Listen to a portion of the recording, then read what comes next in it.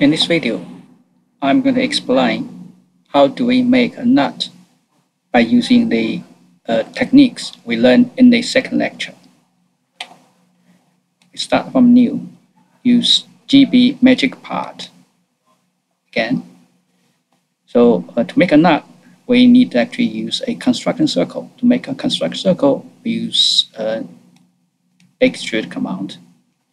Select the plane, draw a circle by center point, and put your cursor to the center of the coordinate system. Then you uh, click and drag it and, and enter the diameter of uh, 18.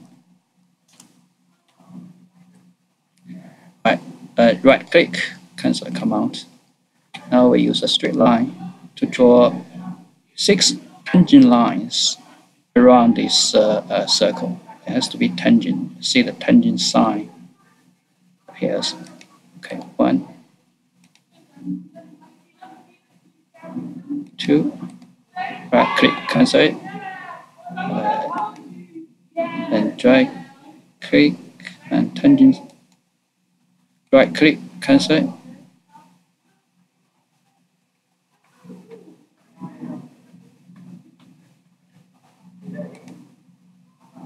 And make a tangent, fold, right click, cancel it. Click, drag toward it, and tangent appear. Click, right click, cancel it. Last one. Click. And tangent sign appear. Click again. Yeah. These lines doesn't have to be uh, set uh, parallel to each other at this moment but we can use the parallel command to do that. Okay set this line parallel with horizontal and with the opposite. As well okay? So uh, then two opposite lines one there parallel with that one one there in parallel with that one okay. The next is to use angle between command here. To set angle between lines. So that should be 120 okay do it again. Click. Tune these two. 120 no. okay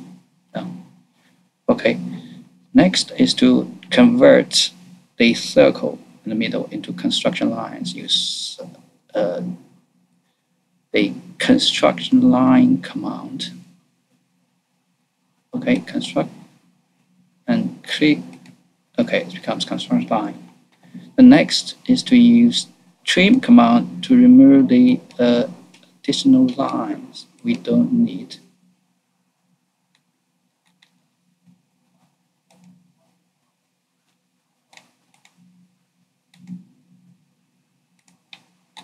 Uh, makes the hexagon appears.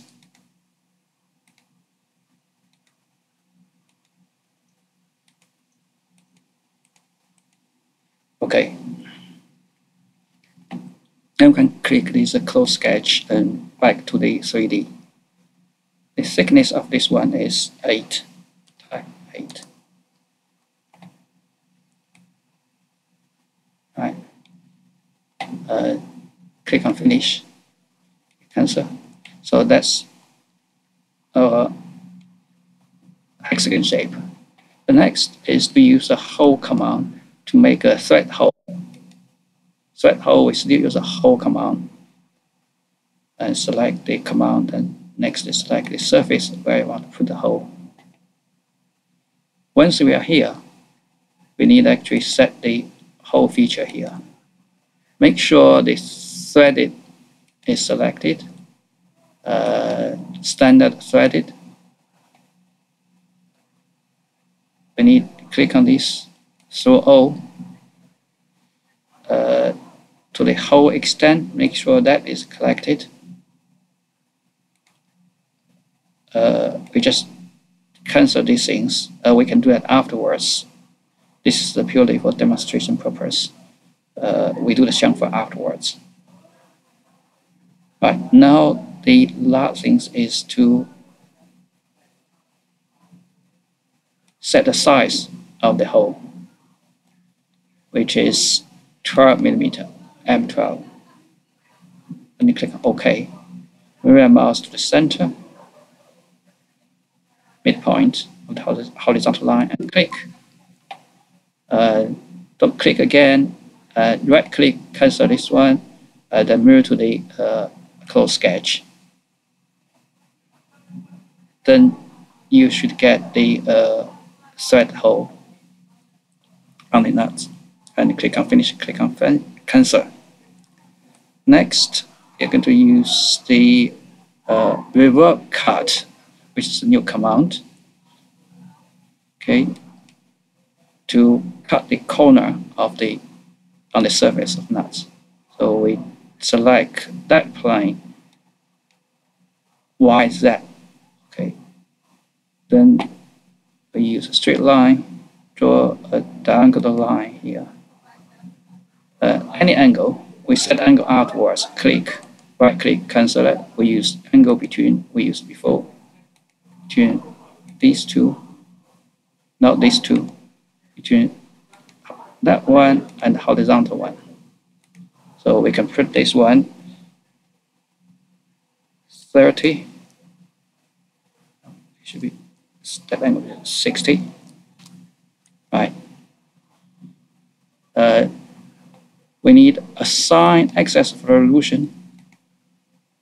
Okay, and click. We're back to 3D. Now we need to actually select the directions of the cutting. So we need to cut that part rather than this part that where cuts all the bolt, uh, nuts uh, away. Uh, that is the direction you can see when you swing the, your mouse, you see the, the corner be cut. You click on this revolved cut 360 and click on finish. So you can see the corner of the nuts being cut.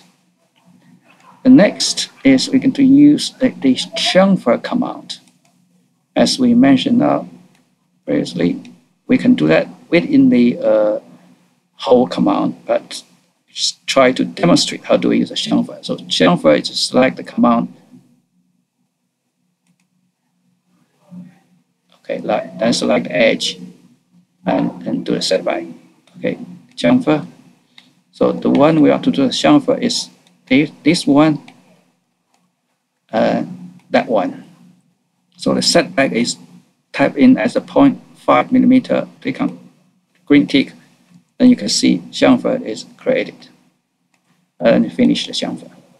Next one, we're going to use a round command to round the corner. Round command to round corner. This is too big, so we type in 0.5 as well. So that one, that one.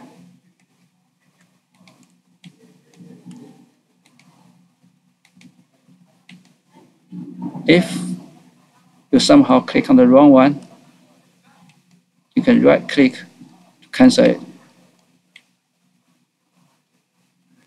Right. Uh, for example, this is wrong. So we can always come back, use this one. Uh, select the corresponding edge and then cancel it. So we can cancel everything and then we can redo them again if we didn't get them right.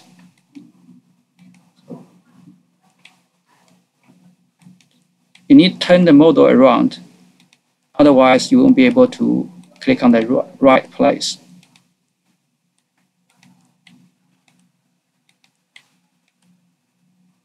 Okay, so all the corners are round now and then we just click on green tick, uh, preview. Okay, you can see all the chamfers cut.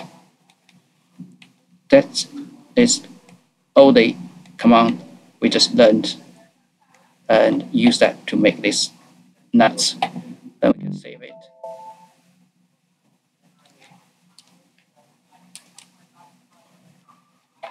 Save. That's it for this video.